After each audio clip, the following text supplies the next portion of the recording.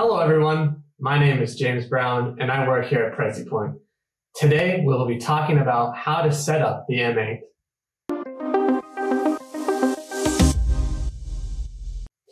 Setting up a digital microscope and scanner can be very intimidating. There are so many technical moving parts, just so overwhelming. But have you heard of the term plug and play?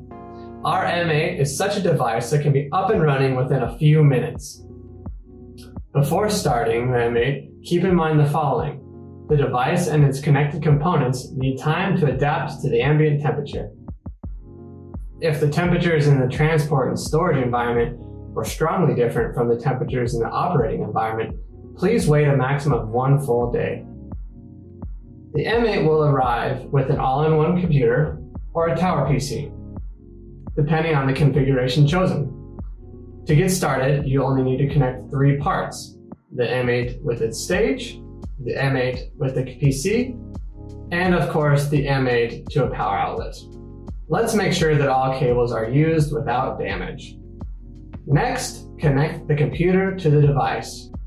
Put the USB cable into the USB 3.0 port of the device and fasten it in place using enclosed screws. Now take the other end of the cable and plug it into the USB 3.0 port on the computer.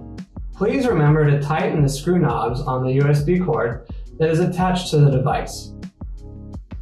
Next, plug the power cord into the power cable connector of the device.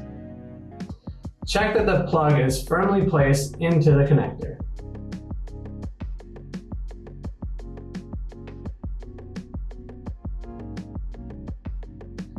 Repeat the same for the power cable of the computer.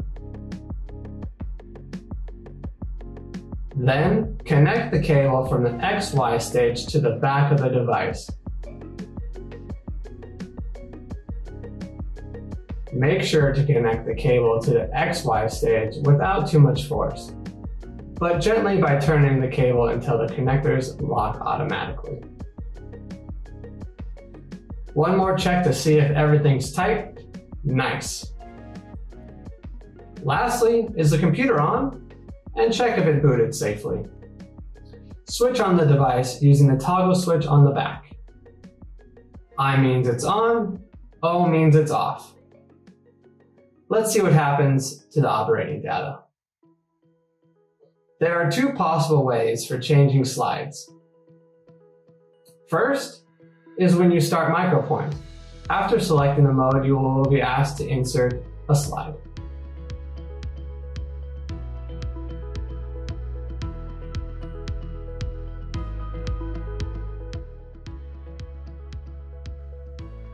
Put the first slide gently onto the glass plate. Move the slide to the back of the holder until the stop is reached. Repeat this step to insert a second slide.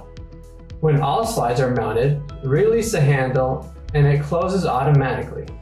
Same thing if we want to remove the samples. So, once all slides are inserted, press continue. The device continues operation by generating an overview image. Also, in every mode, you can press the button Change Slide which will start the replacement mechanism. Both options will initiate a procedure. A dialog will appear on the screen, which will ask you to insert a slide, like this.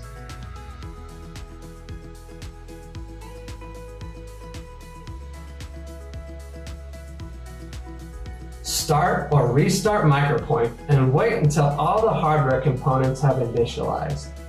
Press Change Objective and wait until the z-axis comes to a complete stop. Next, unscrew the mounted objective in a clockwise manner, like this. Take the new objective and place it onto the screw thread. This time, mount the objective counterclockwise. Do not try to tighten the objective once you have reached the stopping point.